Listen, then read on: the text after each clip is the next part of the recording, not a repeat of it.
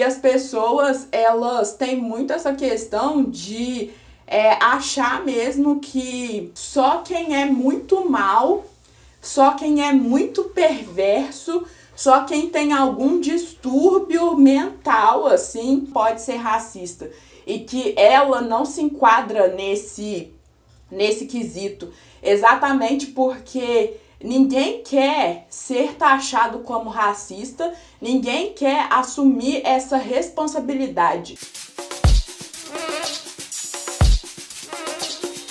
Oi gente, eu sou Natália Romualdo, sejam bem-vindos a mais um vídeo aqui desse canal. Fiquem à vontade, voltem aqui toda quarta e sexta-feira à noite, que é quando tem vídeo novo. Curtam esse vídeo, compartilhem, já se inscrevam nesse canal também. E chega de falação e vamos embora pro vídeo, porque, gente, nessas últimas semanas, né, tá rolando aí na internet, é, principalmente por conta do que houve no Big Brother Brasil 21, né, que um participante é, branco falou que o cabelo de outro participante que era negro e que no caso era um cabelo crespo e Black Power mesmo, né, que no caso esse cabelo era um cabelo de homem da, das cavernas, né? Esse homem branco, ele tinha é, sido colocado na prova do monstro, ele tava com um cabelo de um jeito específico, que ele virou e falou que o cabelo dele tava parecendo com o do menino, que é negro, né? E que era semelhante a um cabelo de homem das cavernas. E aí, recentemente também, a gente teve o caso da Ludmilla, né, que ela perdeu uma ação que ela moveu contra a socialite Val Marchiori, porque a Val, né, é, falou várias coisas racistas sobre o cabelo da Ludmilla.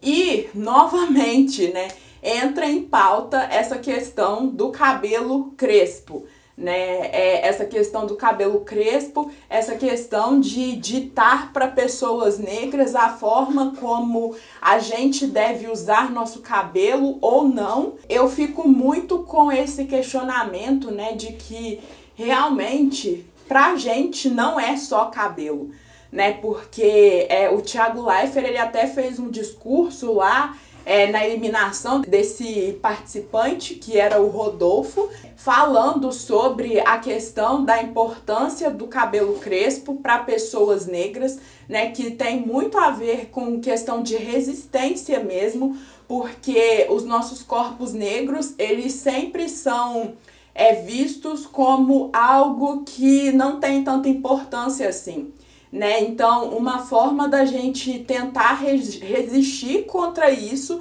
contra tudo que acontece com a gente, contra todo o apagamento que a gente sofre, uma dessas formas é de mostrar essa resistência é a gente utilizando o nosso cabelo justamente da forma como é, a gente quer né? Deixando ele natural, deixando ele seja crespo, cacheado, enfim. Mas mais especificamente sobre o cabelo crespo, que ainda é tão demonizado mesmo, né? Que é, pessoas que têm cabelo crespo são tão atacadas, né? O cabelo crespo ele ainda é visto como uma coisa suja, ele ainda é visto como algo que não se encaixa nos ambientes corporativos. Então, a gente ainda tem muito essa questão, né, de que é quando a gente é ver propagandas, por exemplo, né, a gente não vê tantas pessoas com cabelo crespo assim, né? É nessas propagandas. Exatamente porque o cabelo crespo, ele não é tão aceito quanto o cabelo cacheado, né? Eu tava vendo um vídeo do Greg News que me fez pensar muito assim, sabe, sobre essa questão de responsabilização e culpa, né? Porque sempre quando, na maioria das vezes, né, quando a gente aponta que uma pessoa branca foi racista, é, essa pessoa branca já logo não, porque não, eu não sou racista. Eu tenho um amigo negro, tenho uma pessoa da minha família que tem o cabelo desse jeito, que foi é, o que o Rodolfo também falou, né? Que o pai dele tem o cabelo parecido com o do João e tudo mais. Então, por isso, eu não tô sendo racista, não. Eu não posso ser racista. Sabe? E as pessoas, elas têm muito essa questão de é, achar mesmo que só quem é muito mal só quem é muito perverso, só quem tem algum distúrbio mental, assim, pode ser racista. E que ela não se enquadra nesse, nesse quesito. Exatamente porque ninguém quer ser taxado como racista, ninguém quer assumir essa responsabilidade. Porque quando a gente fala sobre racismo, né? E aí muitas pessoas brancas viram e falam: "Ai, mas que eu não tenho culpa por isso, por essa questão de racismo, porque eu não participei daquele processo todo lá." de sequestro das pessoas do continente africano e trouxe essas pessoas para o Brasil. Eu não fiz isso.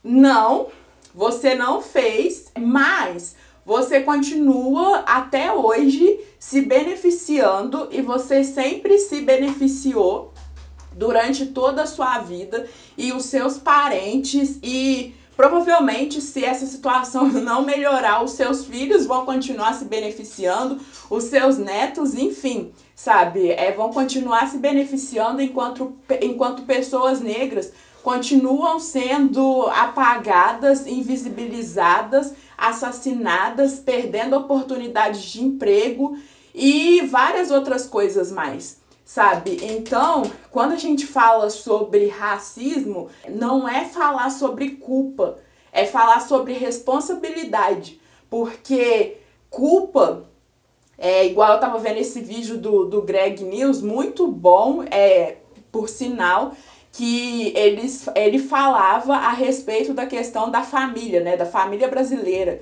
E foi um vídeo dedicado ao cineasta Cadu, Cadu Barcelos, que foi assassinado no final do ano passado enquanto voltava para casa, né? E aí ele falava é, sobre o quanto que o que acontece com pessoas negras de ruim não incomoda pessoas brancas, não incomoda nossa sociedade.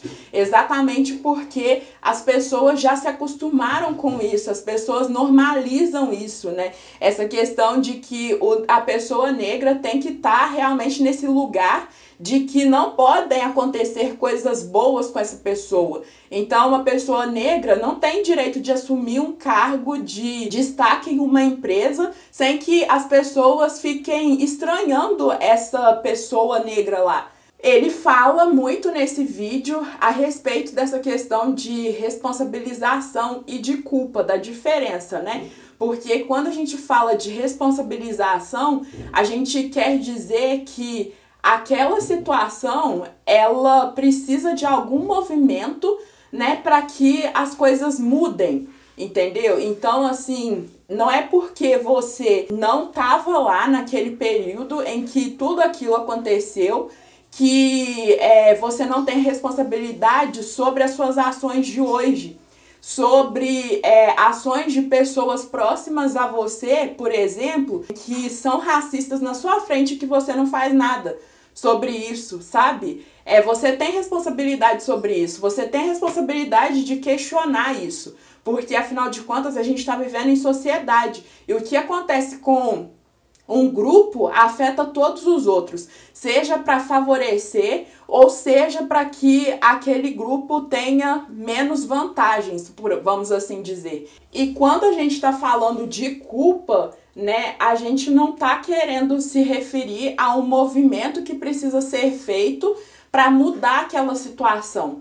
Então, por isso que quando a gente é, se refere a racismo, a gente está falando sobre responsabilização, porque medidas precisam ser tomadas para mudar essa situação. Não adianta ficar nessa história de que, ai tá, não, mas não fui eu. Eu não tenho culpa nisso e que não sei mais o que. E eu não vou fazer nada. Isso aí não é problema meu, é problema do pessoal lá, é problema dos pretos lá. Eles que resolvam isso. Entendeu? Eu tô aqui vivendo a minha vida, então eu não, não quero me meter nisso. Não. Sabe? Não, não é assim que a gente tem que fazer. Não é isso, não é disso que a gente precisa. Não adianta também, né, no caso, é você ir para suas redes sociais, igual quando aconteceu aquela tragédia, aquele assassinato do George Floyd, né, no ano passado, em que várias pessoas foram lá e colocaram tela preta em postagem de, de Instagram e tudo mais. E aí acabou, passou aquilo.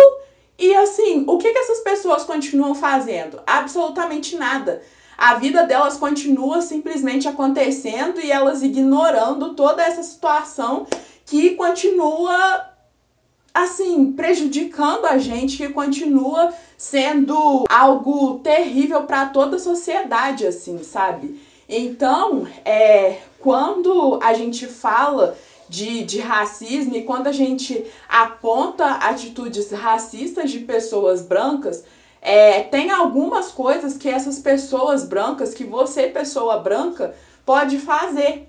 E uma dessas coisas é ouvir, sabe? Não é virar, ai, não, porque eu não fui eu, não, porque eu não fui racista e que não sei mais o que.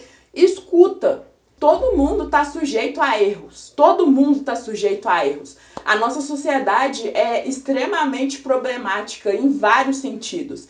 Então, é, eu, como mulher negra, tô sujeita sim a reproduzir atitudes racistas. Eu tô sujeita sim a, a ser homofóbica, transfóbica, transfóbica, LGBTQ-fóbica. Eu tô sujeita a oprimir é uma pessoa que, por exemplo, tem condições sociais diferentes da, das minhas, eu tô sujeita a oprimir uma pessoa que tem deficiência, por exemplo, sabe? Então, todos e todas nós estamos sujeitos a isso. Só que o que acontece é que a gente precisa, quando esses erros acontecem, a gente precisa ouvir ouvir o que as pessoas que estão apontando pra gente estão falando, sabe? Ao invés de simplesmente já chegar com os dois pés na porta e ficar na defensiva. Vamos ouvir, sabe? Vamos ouvir e vamos tentar aprender. Quando a gente aponta racismo, por exemplo, né, viram e falam: "Ah, mas que eu não tenho conhecimento sobre isso". Você tem internet, não tem? Então, se você tem internet, você tem sim condições de aprender, sabe? É, você tem sim condições de aprender sobre isso, de buscar pessoas que estão falando sobre as dores delas aqui na internet, porque a internet não é só um lugar para a gente destilar ódio. A internet não é só um lugar para a gente ver vídeo engraçado de é, desafio de TikTok, por exemplo, ou então ver vídeo bonitinho de animaizinhos e ver receitas, essas coisas todas. Não, a internet é uma ótima ferramenta que possibilita o conhecimento pra gente. E tem tantas pessoas que não têm acesso, mas se você está assistindo esse vídeo é porque você tem. Então, desculpa para não buscar esse conhecimento, nesse ponto você não tem. Você não tem. Então, o que te falta muitas vezes é vontade de fazer isso.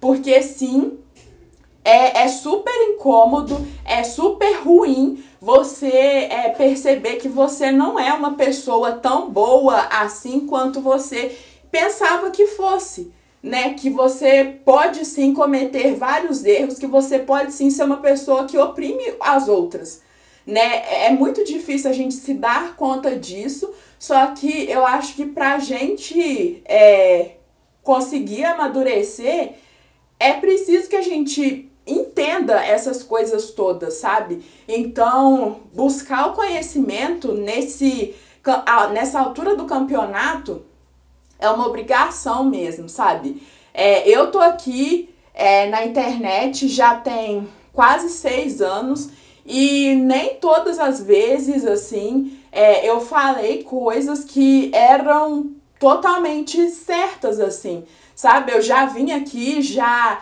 é, aprendi muito com vocês e sigo aprendendo. E é isso, sabe? A vida é desse jeito, entende? E aí, outra coisa que a gente não pode fazer, né, quando a gente erra, é virar e falar. Ai, porque aquela pessoa, ah, ela tá sendo mimizenta. Sabe, isso aí é, é tudo mimimi. Entendeu? É tudo mimimi e tal. Porque quando você faz isso, você tá diminuindo mesmo, sabe? É a gravidade daquilo que você fez, assim, né? Você tá tirando a responsabilidade das suas costas e jogando em cima de outra pessoa, sabe? Da pessoa que, no caso, você ofendeu. Não dá, sabe? Não dá pra, pra fazer isso de ai. É que é, é tudo mimimi e tal, e aí eu vou e continuo com as minhas mesmas atitudes. Tá, você pode continuar, só que isso não vai te fazer mudar. Isso não vai te fazer crescer. E outra coisa também, né, que a gente vê muito é que quando, principalmente pessoas públicas, principalmente pessoas públicas erram de alguma forma, né, elas é, se desculpam assim. Ai, é. E eu peço desculpas para quem se sentiu ofendido. E assim, é, eu acho que até quando você vai se desculpar, né, que você tem que, não sei, talvez tomar cuidado com essas palavras que você usa, sabe? E assim, não é se desculpar simplesmente pelo fato de que você tem que se desculpar, sabe? É, é, mas eu acho que é preciso entender mesmo onde foi que você errou sabe? Por mais que assim, que na internet, né, todo mundo é pressionado o tempo todo quando erra, principalmente pessoas é, públicas, assim, são muito pressionadas para é, que se desculpem e tudo mais. Só que quando você faz isso, de fazer um pedido de, de desculpa que é tão meia boca, sabe? Eu acho que você tá piorando a situação ao invés de melhorar. E aí, assim, é uma, é uma percepção minha. Deixem nos comentários o que vocês acham sobre isso, assim. Eu até vi um post, né, é, no Instagram do Obvious Agency. Vou deixar o link do Instagram deles aqui é, no perfil. Eles fizeram uma postagem muito legal falando sobre isso, é, sobre essa questão de como agir quando você é racista e aí é, é muito isso de que é, tá bom então, o que, que eu vou fazer, né? Igual eu já falei, você precisa ouvir, você precisa aprender, né, pra não cometer esses erros mais. E não é simplesmente de ser algo da boca para fora, sabe? Mas é de realmente colocar isso em prática na sua vida, sabe? Porque é algo muito sério né, que as pessoas realmente não levam a sério e esse é o problema, né? As pessoas não levarem o racismo a sério, mas o racismo é muito sério, o racismo mata, todo dia mata. Todo dia mata mulheres negras, todo dia mata homens negros, sabe? E aí é, é nosso papel fazer algo para tentar mudar essa situação. Deixem aqui nos comentários o que, que vocês acharam, né, disso tudo que eu falei. É, muito obrigada por terem assistido esse vídeo até aqui. Um beijo, até a próxima. Tchau!